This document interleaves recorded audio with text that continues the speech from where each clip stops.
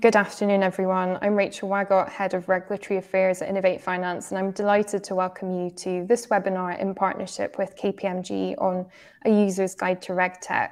So for those of you in the audience who are perhaps less familiar with Innovate Finance and our RegTech work, we're a not-for-profit trade association that represents fintechs and regtechs in the UK. And we launched our RegTech working group last year to champion regtechs and amplify the benefits with regulators, government, other policymakers, as well as buy-side firms. So we've partnered with KPMG to produce a report to build awareness of the many leading regtech solutions currently in the market and the impact they're having on the financial um, financial services sector. So the session today will explore some of our key findings, including drivers for RegTech adoption and ingredients for a successful partnership between RegTechs and financial institutions. I'm really delighted to be joined by senior leaders from KPMG and MoneyHub, one of our RegTech members today. And before I hand over, just very light housekeeping. Um, the session is being recorded. We'll share the slide deck and the recording with you after the session. Um, you can you can ask questions. There'll be a Q&A um, session at the end. Uh, in order to raise questions, you can just pop them in the chat box. So without further from me, I will hand over to Chris. Thanks, Rachel. Thanks everyone for joining. My name is Chris Steele, and I'm a partner at KPMG, I lead our regulatory consulting practice. And so my day job primarily consists of leading regulatory change projects, many of which have a RegTech component to them. So an additional hat I wear is that I, along with, with James, also on the call today with us, lead our engagement with the RegTech community. And so just before we sort of dive into the main meat of the session, I wanted to just build a little bit on what Rachel has just said by way of broader intro, uh, talk about what our aims are with this webinar and with the paper. So it's our vision at KPMG, along with Innovate Finance, to support UK RegTech. What we see is a fantastically innovative and a creative sector, and one with the potential to deliver huge benefit to the UK economy and to society at large. And in producing this report, which should be available very soon, once we complete some of the final steps, you know, what we aim to do is bring wider attention to what RegTech is, what it can be, and what it can offer. So our objectives are to first raise awareness of the many business critical use cases of RegTech, which now extend well beyond the more mature domains of fin crime and extends into existential and C-suite issues like ESG and consumer protection in areas like the FCA's new consumer duty. And to that end, uh, as you've already seen from the agenda there, we've got some great slots today coming up from Michael and from Vaughan on the success stories coming out of both of those areas.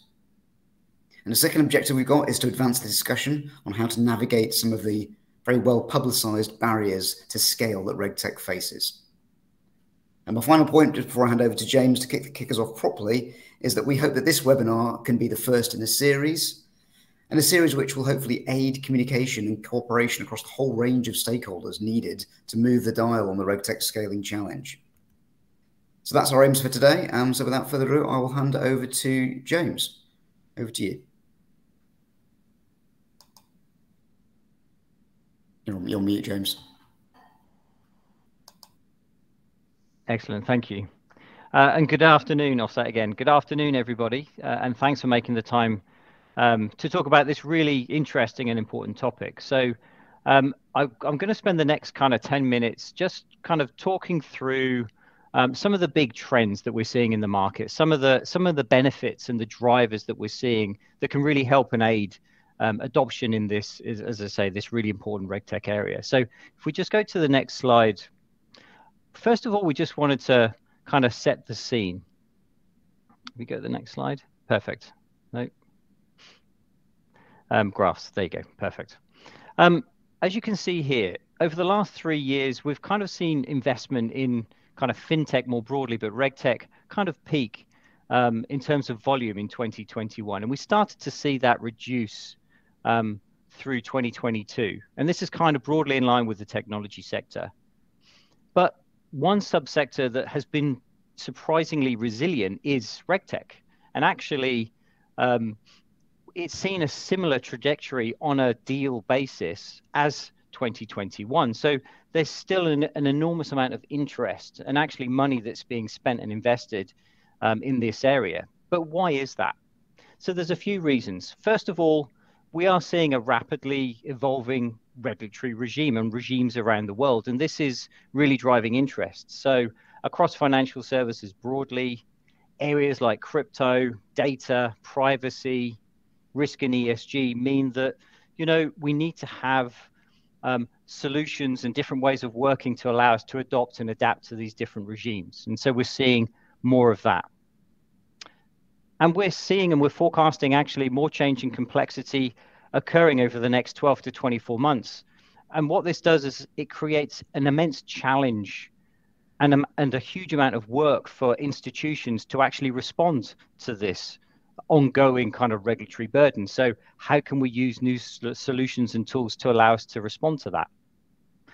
Um, the third one is around kind of changing ways of work. And so we're all living in a post-COVID world, and we know that you know the world that we lived in before has changed quite dramatically.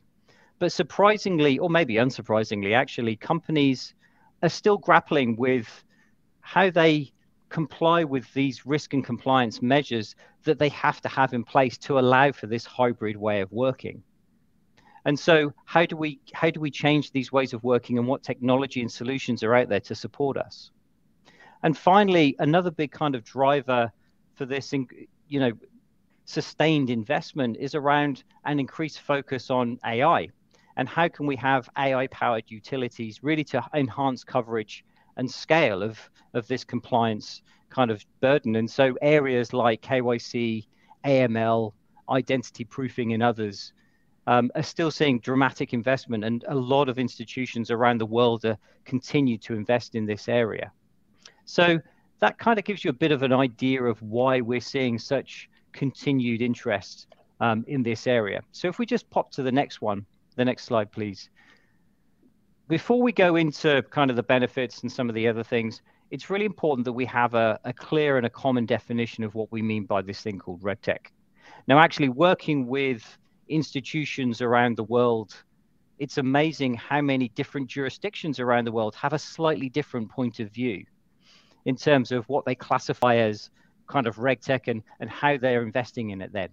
So for the purposes of this discussion, we see RegTech as technology-driven services to facilitate and streamline compliance with regulation. Now, this is an incredibly broad topic, and that's why actually we have our RegTech taxonomy wheel. And this covers all the traditional stuff like tax, reg reporting, and fin crime but actually, you know, the broader areas and the, the, the, the, areas that are really hot in the market, and rightly so, because of all the things we've just talked about. So things in areas like cyber, data, which is a huge topic that everyone's grappling with. And really importantly, ESG, and incredibly topical. And we're going to talk, Michael's going to talk about that a little bit later. So, whatever we do in financial services, we are always going to touch one or many of these different areas and any flow of information or customer interaction that we have creates a need for us to explore how we can use RegTech or take advantage of RegTech to help us, you know, manage this um, compliance burden that we have associated with these different um, themes within our RegTech wheel. So that kind of sets the scene a little bit and it helps us to then understand kind of the context of what we're doing. So what about the benefits? So if we pop to the next slide, in the past, when we've talked about this area, the RegTech area, um, and we put out our thought leadership, and, and essentially our house view was we talked about the three C's. So the three, but this has evolved, and we now have we have a, a slightly different angle, which actually I think resonates um, really well within the boardroom. Actually, when we're looking for investment in these areas. But let me just quickly talk through what I mean by this. So the, the traditional threes were three C's were around first of all cost reduction. So how do we use technology to streamline, automate, and optimize kind of end-to-end process, the compliance process potentially. So especially in areas where we have lots of structured and easily available information and data like fin crime, reg reporting, etc. And we've seen, you know, a lot of a lot of growth in that area. The second one was around better compliance. So, how do we use technology and RegTech to scale how we respond to that regulation, and then monitor compliance to that regulation. So again, automating kind of controls and making sure that we've got kind of uh, more guardrails through the use of technology across all of our lines of defense. And then the third one that we always used to talk about was around working with complexity. So here we're making reference to things like tools and solutions that allow us to react and respond to market dynamics. So we have new ways of working that are enabled through the use of RegTech and technology to allow us to quickly put out new products and services. So we can we can maintain that kind of momentum. But as I said before, once we've been doing the research and obviously we interact with with organizations and institutions all over the world, one of the things or two of the things that have started to change is the different focus areas that we can take and the different lenses that we can take to RegTech. So the first one is around improved customer experience or CX. And you know, we don't always necessarily associate customer experience and regulation and RegTech. And so this is really how we are driving digital transformation. So how can we onboard a customer faster? How can we get to an answer faster for our customer? How can we make sure we're doing the right thing by our customer? So using the as a, RegTech as a real kind of catalyst for that change and driving customer value essentially. And then the third point, or sorry, the fifth point is around corporate experience. And so what we're saying here is how do we improve our systems and data um, integration? And in doing so, we can enhance our um, internal um, user experiences because you know focusing on customer and customer experience is all well and good but how can we make our the people that we work with day to day how can we make their jobs easier? Because they also want to have the same great experience that our customers are now starting to have.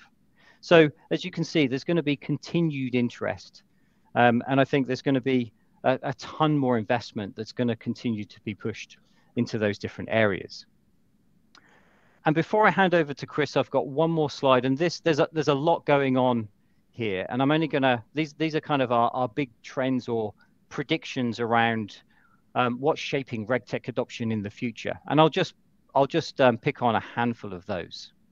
So the first one I wanted to pick on is risk and compliance is becoming much more front to back, and actually the lines between technology and the business are becoming increasingly blurred and really the only way and i've talked about our, the, the compliance burden the only way that we can really keep on top of this is through the adoption of things like regtech different ways of working enabled with the use of technology. The next one i wanted to touch upon which was in bold in the middle there is around regulators becoming more digital. Now this is a, a really important topic because this is what really then creates friction within the market now, we work with regulators all over the world, and we are seeing already those regulators going through the same digital transformation that we see, you know, the financial services industry going through. So that's all well and good, and they're optimizing what they do and they're becoming more digital in their operation. However, the important point here is they're starting to use these solutions, these RegTech solutions, in how they surveil the market how they interact with the market through digital means, but also when they're going out and they're doing reviews of institutions, they're using these technologies to be able to sample. Well, actually, they just test the, a whole community of information and data. So, again, it's a really important point because if institutions within those different jurisdictions can't respond to regulators' requests in a digital way, or they can't demonstrate that they're keeping up essentially with the regulator, they're gonna they're gonna potentially fall behind, and it's going to create you know potentially a challenge for them in the future. But how do they do that? Well, that's why I highlighted the next one. So this one is around the only way that we can really um, keep up with this pace of change. Of course, we know that regulatory the the volume of regulation is going to get more and more complex, but the rate of change within technology is also incredibly fast. So we need more participation with the ecosystem, the RegTech ecosystem, because we've got a smart bunch of people who focus on very specific regulatory challenges, but using new and emerging technology. So it's all about participation, the institutions working with those RegTech vendors within the ecosystem so that they can learn to potentially work with or use, you know, create something internally through that education. But increasingly, the regulators themselves are also doing much more participation within the ecosystem. So again, learning from one another is going to be incredibly important. And then the last one before I hand over to Chris is around compliance management solutions, seeing a, a strong growth in 2023. And this is in, this is especially important in the retail sector where banks need help to take the regulation, translate it into their environment, and then monitor and control it using technology to make sure that we're in compliance. So as you can see, there's a huge amount of momentum and kind of themes and trends that are that are that are essentially pushing the market more towards the use of, of RegTech and, and we will see an increase in, in RegTech adoption in the future. So that's all I have. I'm going to hand over to Chris now and he's going to start to take us through some of the challenges that we see in RegTech adoption. Over to you, Chris.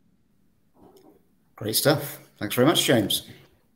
So, despite the really strong set of drivers and trends supporting adoption that James has just outlined there, there are still quite a few challenges to navigate. Uh, many of those challenges have been around for quite a while. So, we wanted to briefly touch here on either what is happening. So, if you go on to the next slide, please.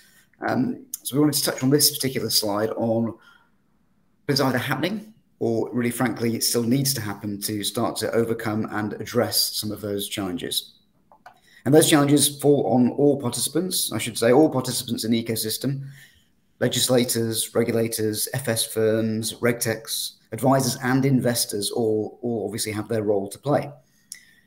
But on this slide here, we're focusing in on the actions that financial institutions could take to improve adoption levels and just with a couple of call outs to hopefully stimulate some discussion in the Q&A later. Uh, first up, I'd go with legacy tech. Uh, so it's not a secret that many of the large banks and FS firms still have a huge dependency on outdated tech. And this has been a problem, you know, a really big problem for scaling RegTech. But with accelerated cloud adoption, the ability of the RegTechs to connect via APIs, and some really exciting technology roadmaps out there amongst those large clients, I really feel increasingly positive about our ability as an industry to work around, I mean, what previously, frankly, felt like an intractable problem. Then, if I, if I, I, I guess if I bring three and four on this slide together, put it, put, put them both under the banner of understanding and desire to change and engagement to James's point around participation and, and engagement, yeah, I really feel that this could be one of the biggest things to move the needle. I think it's got the potential to move us from experimentation around the fringes, which I arguably are already beyond that. But you know, if I characterize it as experimentation, and, and solutions which often struggle to scale uh, and struggle to integrate back into the mothership after the experimentation happens in whatever the innovation hub is at that particular institution, they struggle to integrate. We can move from that to genuine innovation, which can really unlock some of those fantastic benefits that James just outlined a moment ago. That's really where we want to move to. But many of you on this call know that a lot better than I do. You know, many of you are in the vanguard. You you're the organizations looking to work with the RegTech vendors. So it would be really great to hear from you. Please do post some questions in the chat. Uh, perhaps you give some thoughts on what you think needs to change within your own organization anonymously. Uh, or perhaps you can talk about uh, what, what you think the vendors need to do to help you, what those RegTech solution vendors need to do to help. So if I move on from the perspective of the FS institutions, thank you very much. This, this final slide, before we dive into the two use cases, covers some of the routes potential routes to navigating the challenges that we've outlined in, in the paper, which hopefully you'll see very soon. First up, I think James has, has touched on this already. The role of the regulator clearly has a really big role to play. And uh, we've been lucky, we are lucky here in the UK with the FCA and the Bank of England and what they've done so far. Maybe, maybe not all of you will agree with that broader statement around uh, the regulator's role, but certainly in this sector, in this segment, They've been very open. They've been very engaging with our industry. Um, but th th there's always more to do. Uh, and we, uh, there are a couple of, I think, enhancements which could make a real difference. First, the sort of setting out of the regulatory expectations for fully embedding and utilizing technology. You know, we've talked, you know, many papers talk about tech neutrality, but I think there's, there's a piece there around, there's an expectation around utilizing uh, the latest and the most robust and resilient technology the, the, the interrelation between tech and the, the OPRES agenda, obviously. A second enhancement, I think, is, is an acceleration. Again, as James has touched on just a moment ago, that acceleration of the program to digitize the regulatory framework. That could make a huge difference to the regtechs and a huge difference to how FS institutions can utilize these technologies.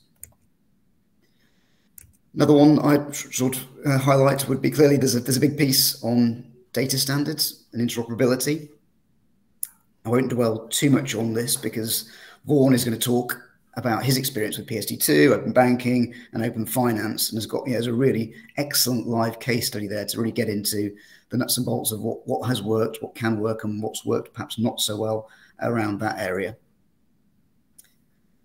Then the final one I would highlight before handing over to Michael is, is, is one for the regtechs themselves. It's it's incumbent upon the regtechs to demonstrate that they're well controlled, well capitalized, and resilient because this is a, a refrain I heard in the early days from my, my clients around working with the regtechs. And I think we've made great strides there, but there is a piece around maturity, but there is a piece around this engagement with governance and control and that side of things, which can, I think, help with some of these adoption challenges. But frankly speaking, you know, everything on this slide and everything I've said will be for naught in the event of a five degree C warmed world uh, where we may be living on small islands. Um, so we're going to hear now a little bit about how RegTech can help with sustainable finance and impact investing. Uh, and Michael's going to tell us about some of the data and tech solutions uh, that can make and create and support change in this crucial area. So, Michael, over to you. Thanks, Chris. And good afternoon, everybody. Um, I'm Michael Johnson. Um, I lead on ESG regulation in our, our wealth and asset management consulting practice. Um, and over the next sort of five or 10 minutes, um, I'm going to try and give a, a whistle stop tour of uh, the, the, different areas where we're seeing lots of opportunities for the use of RegTech in the sustainable investing and, and ESG space. So I've got um, kind of four headline areas that I want to want to touch on. First of all, um, ESG data. So um, the the quality, consistency, and, and coverage of ESG data is probably the, the biggest challenge that our clients face when they're trying to integrate ESG into their investment process and in the second line oversee uh, the, the, the, the, sustainable products that, that, that, their, that, that their firms are running. Um, that there's very limited coverage across some asset classes.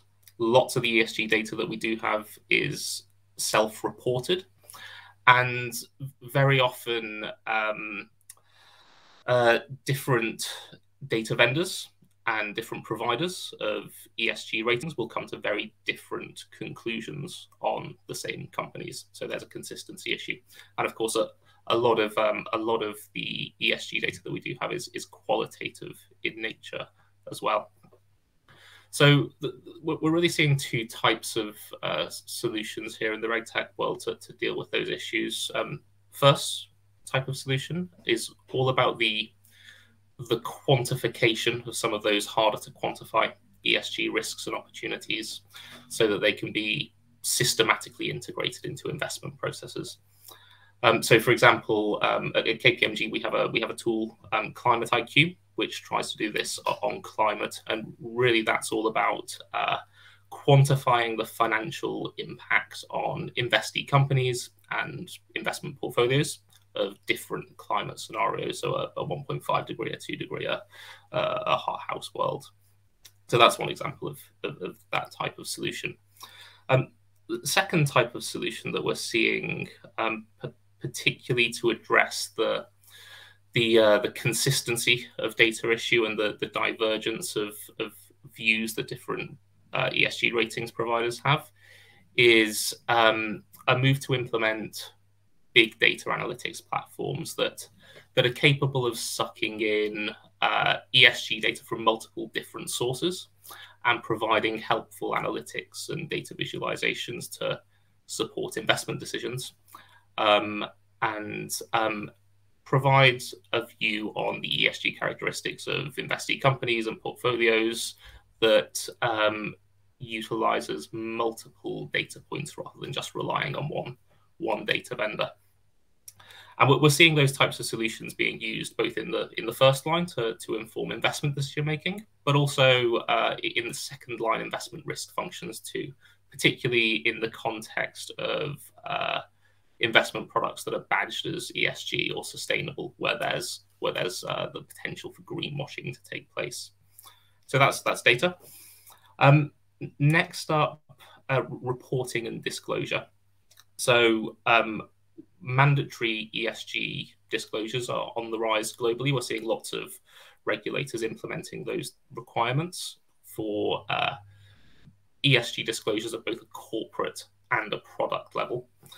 And it's it's that product level reporting that uh, is proving a real challenge for, for, for lots of our clients. So uh, we're helping lots of clients at the moment with uh, SFDR and TCFD, um, both of which have product level reporting requirements. And some of our clients, uh, they are going to be required to produce several hundred product level reports every year, um, setting out the ESG characteristics of their products. It's a, it's a real burden. Um, so pretty much all of our clients are looking to uh, automate that report production process. Um, and we have a partnership with Workiva that, that seeks to do just that. So, sucking in qualitative and quantitative data from different sources and using that to populate standardized uh, disclosures that can be rolled out across the entire product suite to, to make that reporting burden a, a bit less painful. There's also an opportunity here uh, in the private market space too, where yeah, uh, uh, uh, unlike in unlike in public markets, you can't just uh, buy a data feed that gives you everything you need in terms of uh, ESG data on your the assets that you hold in your your portfolios. You you kind of need to go out and get the data yourself directly from the management teams at your portfolio companies, the management companies that are running your buildings, or the the operating companies that are running your wind farms, depending on what what asset class we're talking about. And fr- frankly, this is an area where we see um, a lot of spreadsheets, a lot of uh, manual reporting processes. And given the increasing prominence of, of ESG and the increasing reporting burden that, that firms in the private assets world are facing, pretty much everybody recognizes that that's not a long term solution. So we're seeing lots of interest in uh, data collection and reporting platforms for private markets private assets. So that, that's that's the, the reporting and disclosure piece. Next up, uh, stewardship and active ownership.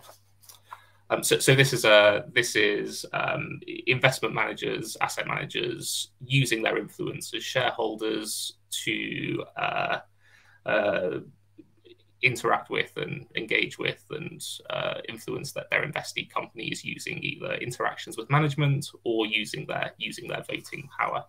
And stewardship is um, really increasing in focus at the moment, partly driven by uh, partly driven by regulation, but also driven by the climate transition and uh, the need to the need to align portfolios with with net zero.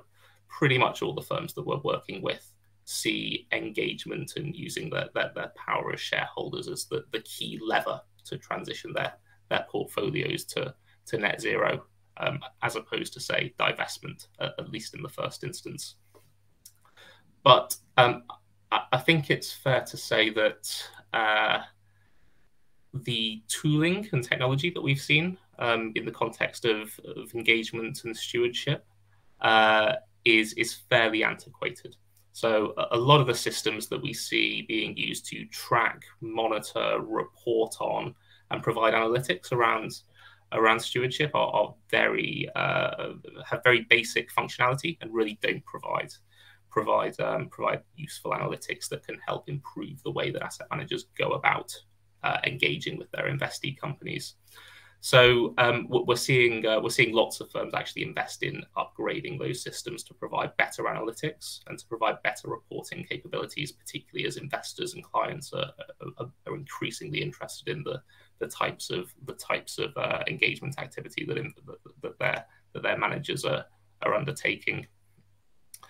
And I suppose that the, the, second um, the, the second uh, interesting bit of technology that we're seeing here is uh, technology being used to democratize proxy voting and engagement by bringing end investors closer to, to, to that process.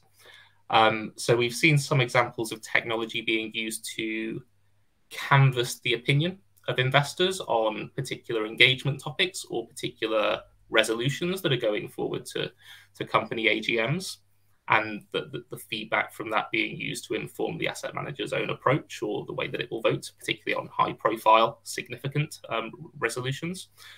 But we're also seeing some managers directly give power to, to end investors to, to decide how they should vote on. So that's um, that, that's going to be a really interesting space over the next few years, and we expect a lot more activity to, to, to happen here. And then the, the, the, last point that I wanted to talk about was uh, was, was, regulatory change. So, um, strictly speaking, this this isn't a, a, purely ESG or sustainable investment topic, but I think uh, ESG regulation and the, the regulation of sustainable investment is um, a really good example of the challenges that firms are facing around uh, reg change and some of the ways that some of the ways that RegTech can be used to, to help solve those challenges. And that, that's for two reasons, really. So the first is um, around volume. Uh, pretty much every major financial services regulatory center is bringing forward regulation on sustainable investment and ESG. Um, and indeed, at KPMG, we uh, our regulatory insights center produces a, a regulatory barometer that's designed to um, uh, provide a view on where the real pressure points are going to be over the next few years when it comes to reg change. And ESG regulation and sustainable investment is by far and away in the lead. And uh, pretty much all of our clients uh, are struggling with the volume of regulatory change. And the second, the second reason is complexity, particularly cross-border complexity. So we're seeing uh, different financial services centers take very different approaches to um, to the regulation of, of ESG and sustainable investment. And, and, to deal with this, we're seeing some really interesting uh, pieces of technology being developed to um, automate the horizon scanning process, linking uh, linking it to linking it to a firm's regulatory footprint.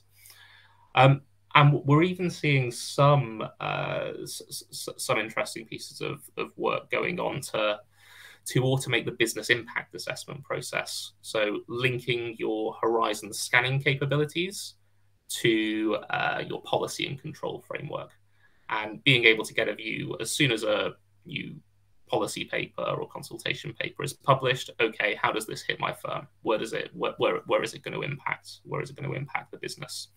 And we we expect this to become this type of uh, this type of tool to become a lot more powerful as uh, regulators increasingly become more digitally savvy and technologically savvy themselves.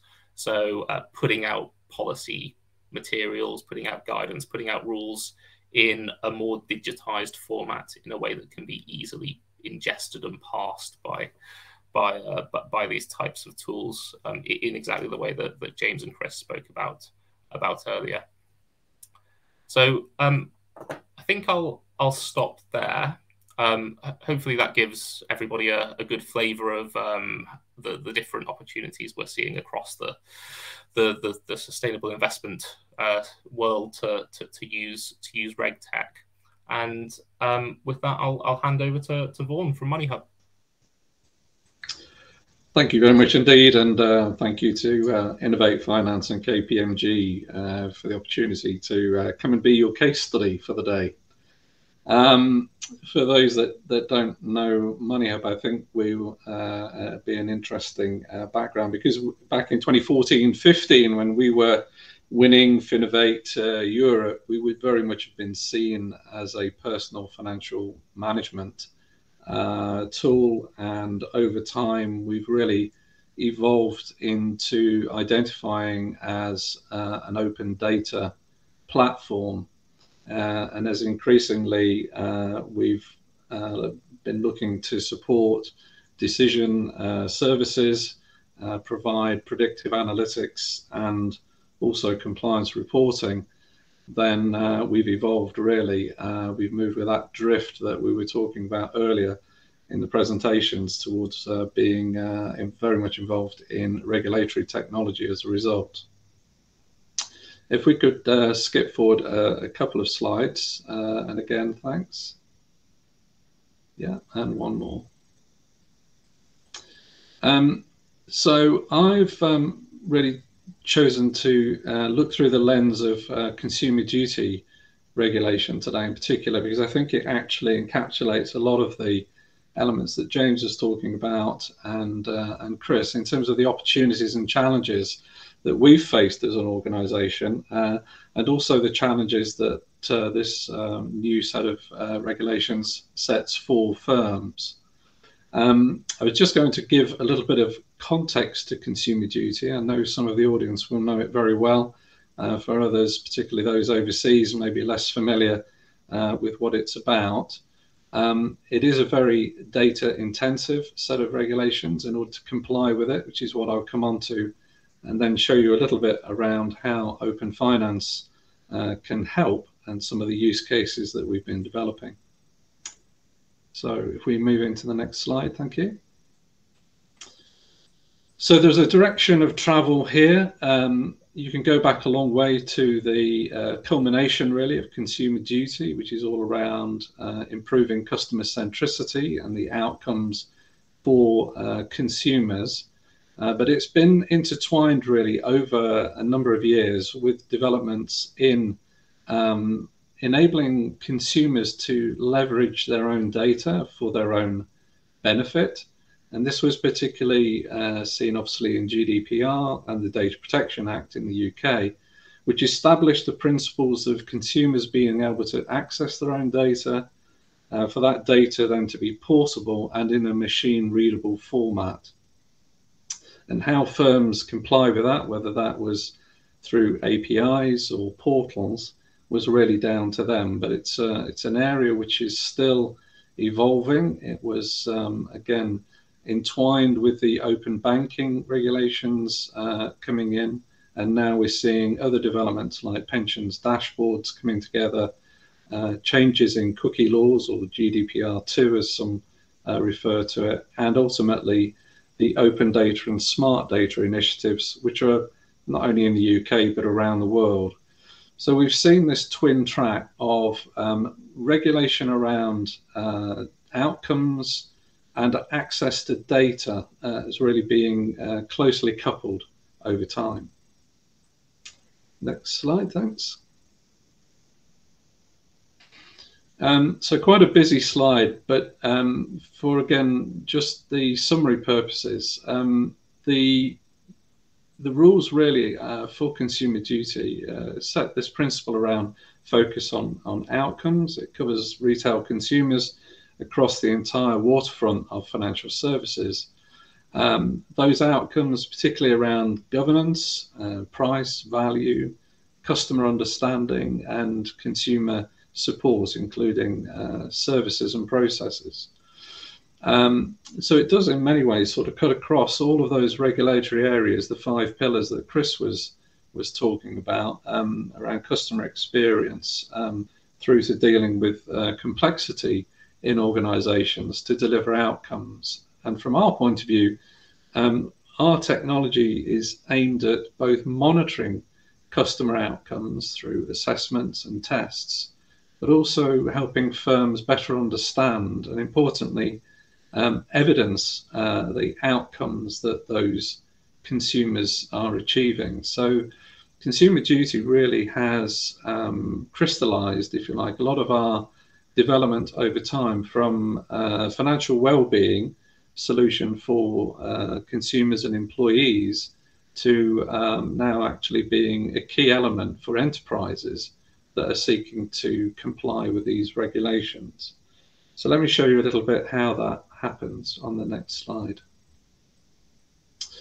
Because of the nature of the consumer duty uh, rules, it does actually impact across uh, an entire spectrum, really, uh, of a product and, and customer life cycle, um, from how products are designed and perhaps moving from broad brush personas and segmentation methods to uh, more targeted, precise um, market of one type analysis um, through prospecting, uh, understanding the full context of a customer through the onboarding stage and into ongoing uh, suitability as uh, both economic conditions or individual circumstances might change, and then ultimately um, to help people um, around uh, exiting or making comparisons and migrating to other uh, more suitable uh, products. And uh, KPMG uh, clearly have been very active in this, helping firms put their high level plans together. Um, and now uh, firms are looking forward, no doubt, to inspection visits around that ahead of implementation next summer and the following year for the the back books of business. But it is a pervasive uh, set of regulations. So um, if we move on, thanks. We did some surveying recently around the readiness uh, of organisations for these uh, regulations. Um, it was a very patchy uh, awareness and readiness, and indeed confidence in being ready in time. But it was clear that a lot of organizations were waking up to the fact that they would need to invest significantly in customer data and insight technology, um, with um, nearly a quarter estimating they would be spending at least 5 million in order to uh, make the most of the opportunity. Um, move on. Um, so, what are those outcomes? I mean, for us, I think as a firm, we've always felt really that a good customer outcome is actually a combination of a number of factors. It's the quality of the product and service that's provided, the emotional appeal of the of the brand that the um, individuals um, buying from, and the trust factor and how that evolves over time. But it can all be undermined uh, or indeed multiplied by the data insights that an organization has got. And historically, of course, they have been somewhat dogged by siloed product based legacy systems. Um, but our belief and our activity is around making open data uh, the route to fulfill consumer duty. So if we move on again, thanks. Um, as an organization, we've got a lot of uh, features uh, which talk to the cross cutting rules and the customer outcomes. Um, it uh, ultimately helps organizations not only to meet some of those um, key uh, illities, as we call them, around the suitability, the vulnerability, affordability, and so on, but also ultimately enables firms to build a consumer uh, consent based data lake, which uh, we think is going to be not only the essence of uh, regulatory compliance, but actually of competitive advantage for firms uh, going forwards, uh, particularly when cookie laws come in and uh, the way that you relate and acquire on board uh, customers will again increasingly we think be only through uh, consent based um, relationships and customer engagement. So that's the sweep of what, what we provide um, and, and how we provide it. If we just move on, is that we have a wide set of um, individual components and uh, we have uh, sets of APIs which we deliver to firms, which cover all the really different elements of an individual's uh, financial life, um, from their position on income and expenditure, their assets, their liabilities, we go well beyond um, open banking. We have um, connections into investments, pensions, mortgages, and loans. So, so we, we deliver a, a genuinely holistic picture of the consumer, both back to themselves and by consent, that that can then be shared with the uh, the, the financial institution, the financial services uh, provider all of that can be uh, mixed uh, into different propositions. And if we just move on, and those can then form part of how um, consumer duty can be um, delivered in, in, practice. And I particularly point to the fact that all of this can then be supported from the enterprise side by um, dashboards around suitability um, is particularly key at the moment, something familiar to firms that are MIFID II uh, regulated already. Uh, and particularly affordability uh, at the moment is a hot topic. We can synthesize all of the uh, data by consent to play that back, to look at outcomes that individuals are experiencing, and uh, and then feed that into the reporting that firms are going to have to do back to their FCA supervisors who will be quizzing them around what evidence do you have that you are delivering good customer outcomes. So um, just move on again. This is um, a, a, slightly scary picture, really, of one of those dashboards. Um, this is how we're sort of looking, for example, in the, in the lending sector. The kind of data that we pull together can be enhanced by credit reference agencies, certainly supplement it. Um, but you can see the sorts of um, data and intelligence that we're getting around the context of an individual, which can actually sometimes, for example, you know, turn a yes/no decision on uh, a mortgage in this particular case into uh, a not now, but here are other things that you could do to actually qualify and become uh, eligible for a mortgage late, later on. So this is just one of the four key dashboards which we operate uh, for firms um, as part of a RegTech uh, solution. Um, so just coming to a conclusion, just moving on. The overarching uh, trend has been away from uh, product push by organizations and those siloed data centers that people have got towards a much more personalized customer uh, experience. Uh, that's what we've been delivering, and consumer duty, if you like, is very much aligned to what, what we believe.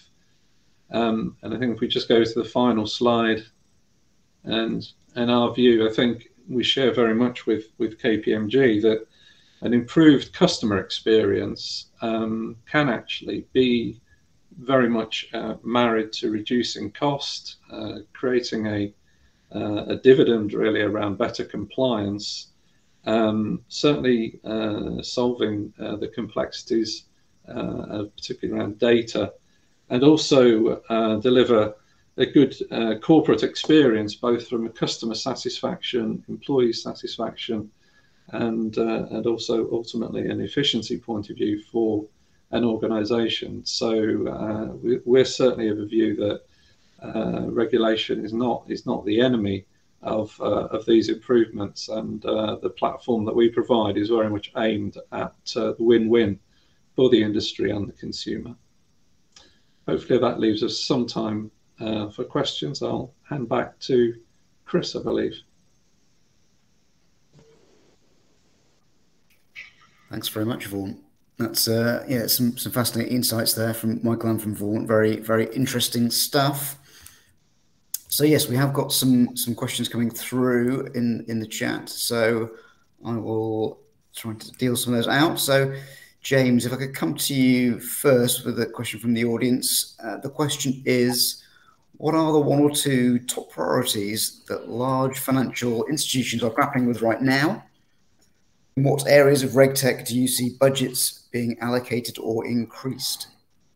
So really great question. Um, and if we keep it in the context of RegTech, obviously, because that could be a really big, long-winded answer. Um, I see I see a couple of, of key trends, and you know, me and, and, and others within KPMG have been working with institutions around the world and indeed the regulators around the world. And we've done a, a series of studies actually that help us kind of hone in on where are those big areas of spend. So, in terms of kind of the two kind of really large priorities, um, I would say the first one, actually, I would say data and data, but data is definitely one. Um, but data coupled with kind of legacy systems and environments, and we've we've talked about that already. But but really, how do you get these these systems to talk to each other? But really, the the, the trigger there, and and you know, I think a lot of what Vaughan talked about as well is around information and data and having that right data in the right format in the right place that we can do stuff with. The second one I think is is actually around people and culture. So and this is really around the willingness of people to explore how they can use kind of new ways of working and enabled by technology in their environment. So if I if I talk to and I do talk to lots of banks again kind of locally but also internationally everyone's terrified of you know failure everyone's terrified of actually changing up what they do and this isn't necessarily a new story. However, I do think that there's much more emphasis now on how can we change that people, how can we change that culture to make sure that people can identify potential areas where they can use these new technologies. And then going to the second part of the question in terms of kind of uh, the the budgets being allocated. Um, if I go back to our kind of regulatory taxonomy themes, I would say there's a continued, you know, the front runner is always around kind of fin crime and those areas, as I say, kind of well-trodden areas that have structured data that can be that can be easily used.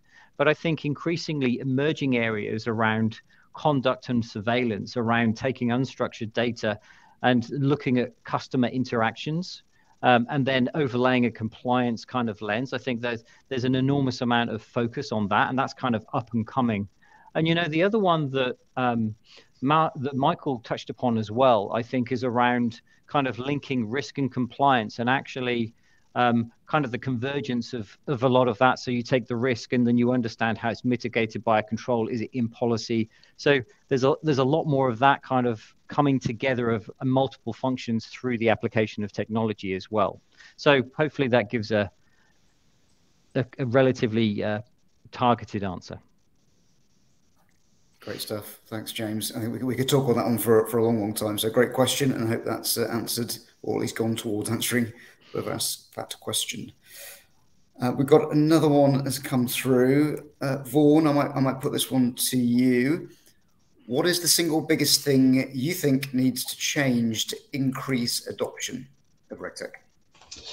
Um, well, um, clearly, uh, interoperability of standards and uh, and the protocols around that um, would be an enormous enormous help. Legislation clearly underpinned um, open banking uh, in terms of um, helping to um, make make that easy. Um, but I think one of the important things, apart from the technological underpinning and the legislation um, that, that that that will help.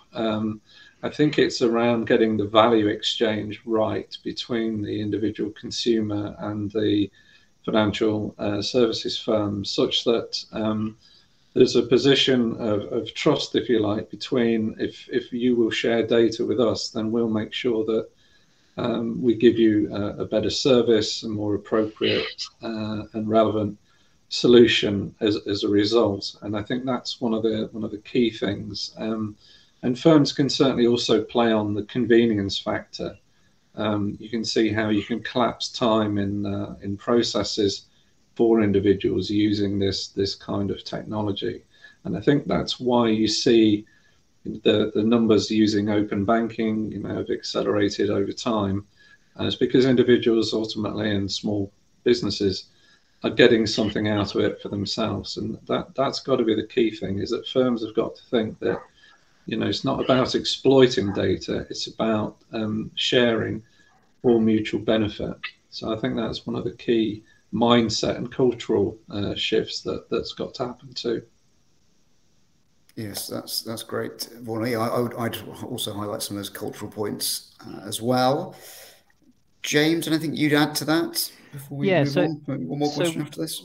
One of the one of the so I've been working with a few institutions um, around and looking at RegTech adoption. Um, and I, I, guess the first thing I would say is it's not just about technology, as Vaughan rightly says. It's it's a much broader thing. It's about investment. It's about tone at the top and all of those sorts of things. But you know, if you break it down and you talk to the heads of different compliance or risk functions or business units, um, they will point to until the regulator gets behind it and doesn't necessarily give it a stamp, but says you need to start looking at this more. I think that that is the impetus that a lot of the institutions around the world are actually looking towards. And I think the point we made earlier in the presentations around the application of RegTech within the regulators and this whole concept of supervisory tech or SupTech and how they're starting to use these these technologies to surveil will be a huge will, will create a huge amount of friction as i said before to then drive this adoption so i think they're already starting to get behind it more um, and if you look around the world you're seeing much more guidance come out from the regulators on this and this is going to actually really push i think adoption in the future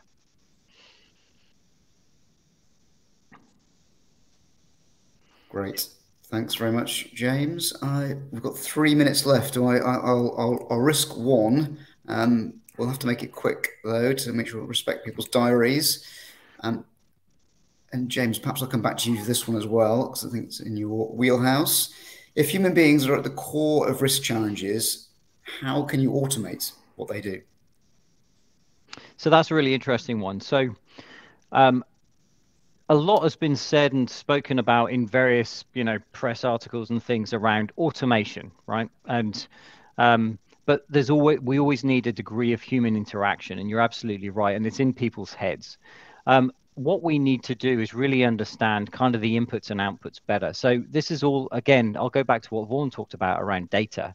We need to make sure that we really understand how all of this information, all of this data interacts and then what's applied and that's the way we start to digitize so we're not taking work away from the human beings we still need to we still need their judgment and their expertise but there's an awful lot of of things that they do around going from one system to another and getting these different data points. Getting that collectively together i think will will help to assist in how we slowly um, reduce the level of reliance in a, in a positive way um, of of human beings to use the words in in the question. And then so that they can really focus on those kind of judgment based value added activities to make the final decision because you know we're unlikely to give that all away uh, to the to the machine so i think it, it really comes back to what i said before around those data points and really understanding how that works and how that's interoperable between different technologies Superb. Thanks, James. Uh, well done for tackling that one so succinctly and quickly. Um, we're almost up against time. Michael, Rachel, you've escaped very lightly there, uh, given our time constraints. So I think I'll, I'll, just very quickly wrap up just by thanking everyone for attending. Thanks to Innovate Finance and its members. Quick appeal, please do complete the survey, scan the QR code. As I said, we want to do more of these, but we need your feedback before we can do that. So thanks to everyone. Uh, Rachel, do you want to? I'll come to you for any any closing remarks from yourself. Yeah, thank you, Chris. Just reiterate a big thank you to you, the other speakers. It was a fascinating discussion today, and I think really broke down the barriers. But what I really focus on are the opportunities that are there. So it was great to see that brought to life by Vaughan and his use cases. So it was super. Um, like I say, please do complete the evaluation form. We really want to do more of these in future. We will be circulating the recording and the slide pack uh, to attendees afterwards. So thank you very much all. Thank you. Thanks everyone. Excellent. Have a great afternoon. Cheerio.